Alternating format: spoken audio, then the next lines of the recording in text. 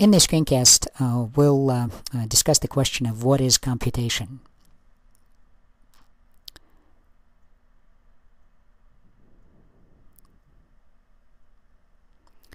So let's suppose that um, we have uh, an L program. If you're not familiar with uh, programming language L, and that is a computational formalism that we're using in this class, then you can watch the previous screencasts on this channel. So let's assume that we have an L program and it has n instructions. So the question, um, very relevant to um, any computer scientist is what is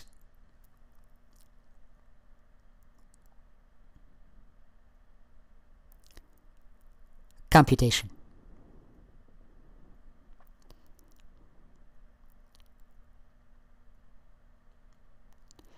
And obviously, this is a context-sensitive uh, question because uh, the answer to that question uh, depends on the context in which it is being asked, um, so for example, if we have a digital device, then we're going to have one answer to that question. If we have a quantum computer, then the answer uh, to that question may be completely different. So um, in our context, we um, have a sequence of snapshots. That's uh, snapshot number one, instantaneous descriptions of program state uh, of uh, the program states. Um, so S1, S2, S3, and then uh, Sk. So this is a uh, finite sequence of uh, snapshots. And um, we're going to make um, uh, put some upper bounds, lower and upper bounds on the value of i first. So for i uh, greater than or equal to 1 and less than or equal to um, k minus 1.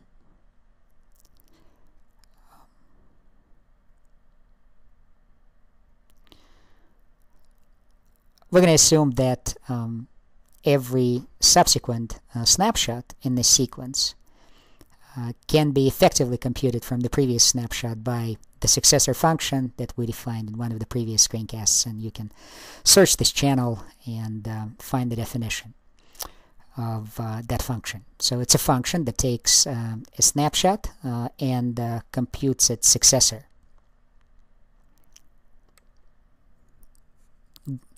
So uh, S2 is the successor of S1, S3 is the successor of S2, um, uh, uh, and then Sk is the successor of the previous um, uh, uh, snapshot Sk minus 1. So this is the first um, assumption. And the second assumption, and this is um, very um, important, Sk is uh, terminal. So um, we have previously discussed um, uh, terminal snapshots, uh, and it's a snapshot um, whose next instruction uh, to be executed is um, uh, n plus 1.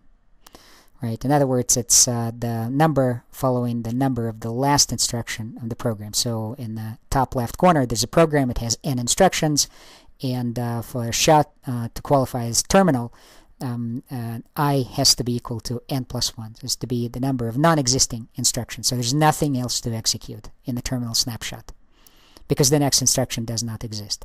And S1 uh, doesn't have to be the initial snapshot. And uh, technically speaking, we can start the execution of the program from any legal uh, snapshot for that program. So, um, so that's the computation.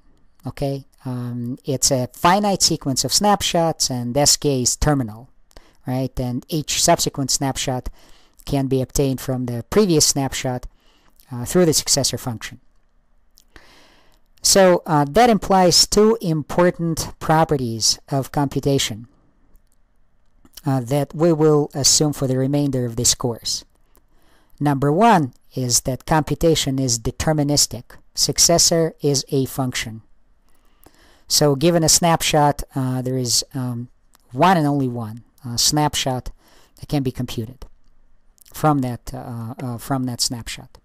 So unless it is terminal, of course. So um, in which case it's just going to mm, map to itself.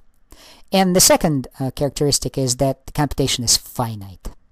Okay, so uh, there's deterministic, right? So every subsequent snapshot can be deterministically obtained from the previous snapshot by the succession. And then the second uh, property is that k is a finite number, some some natural number, can be big.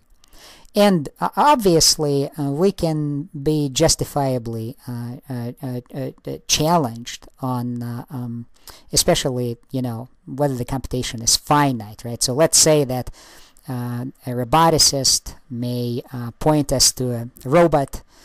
so this is this is a this is a robot, and say, well, I don't believe that computation is finite for this device. So uh, is it is it really really finite? Um, I don't believe uh, I don't believe so. Um, so uh, because um, um so computation finite that's the uh, computation finite that's the question that um, might arise.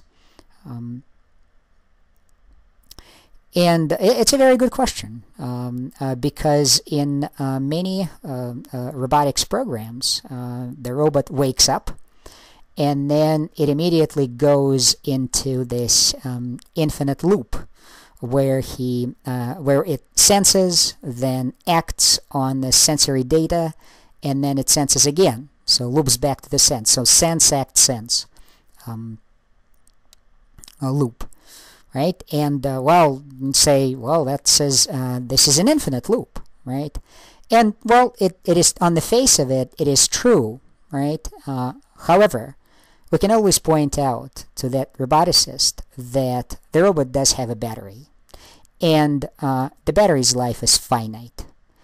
And uh, so no matter how long the robot runs, the sequence of snapshots will be finite.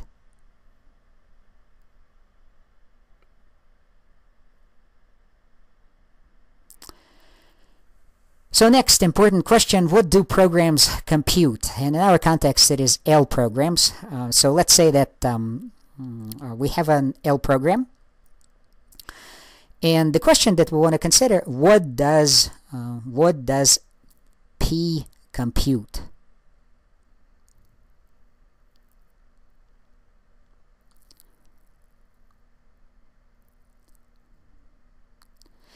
And we have to consider, um, well, two different scenarios, um, right?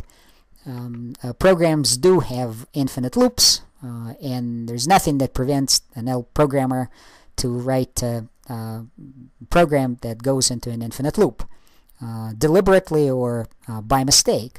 So uh, there are two two cases that we have to consider, two scenarios rather.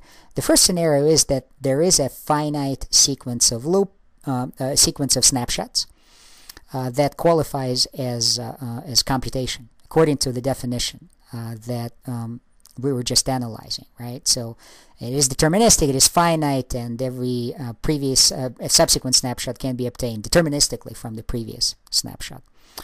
Uh, so there is a computation. And the second case is when we have an infinite sequence of snapshots.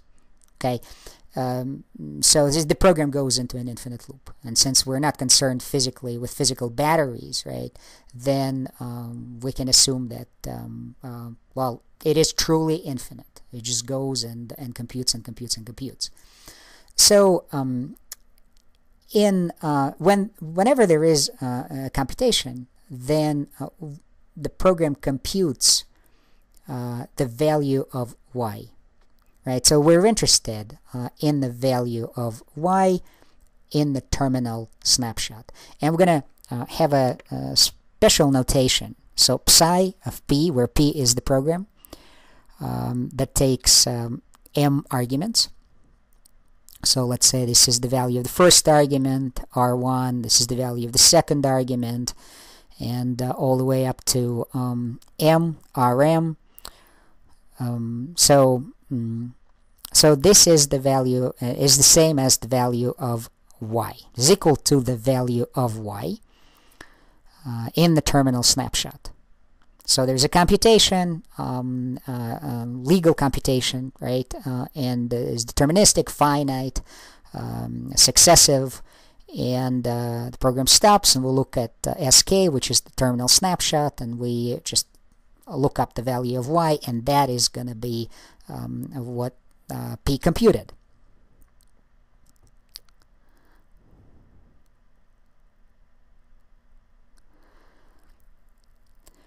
okay so, and uh, just a technical, so do not confuse R1, R2, and RM with X1, uh, X2, and XM. X1, X2, and XM are uh, input variables and they receive those values, right? So you can think of them as registers, as boxes.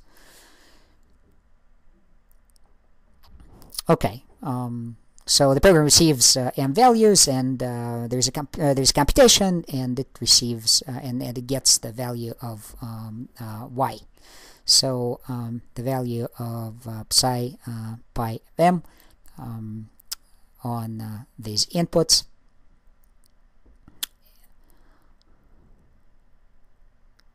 is equal to y. Okay, in the first case. And in the second case, right, the computation is infinite, right? Uh, well, I misspoke. Uh, program runs infinitely long, so there's there's no computation. So infinitely uh, many snapshots, infinite sequence of snapshots, and in that case, um, it is not defined.